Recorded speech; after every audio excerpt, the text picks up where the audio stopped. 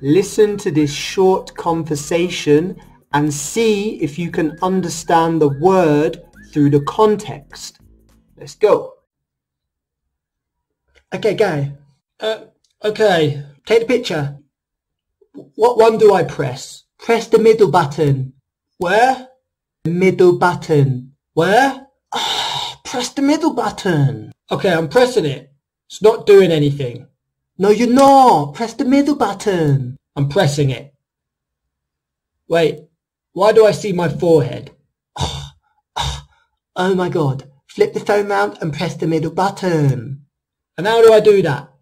Ah, oh, God. Oh, I'm pressing it. It's not working. Bloody thing. It's not working. Oh, God. Don't get your knickers in a twist. I'm doing it. Yeah, but you're not doing it. Oh, it's not working.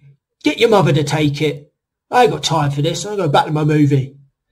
Basically, we say don't get your knickers in a twist when we see someone getting really upset or angry in a situation when they really shouldn't be.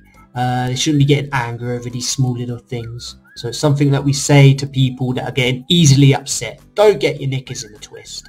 Now, unfortunately, we live in an era where everybody's always getting their knickers in a twist over the smallest little things. But hey, uh, that's life. So can you give me an example of when you got your knickers in a twist or when someone else you know got their knickers in a twist?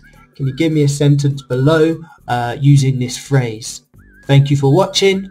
I'll see you next time.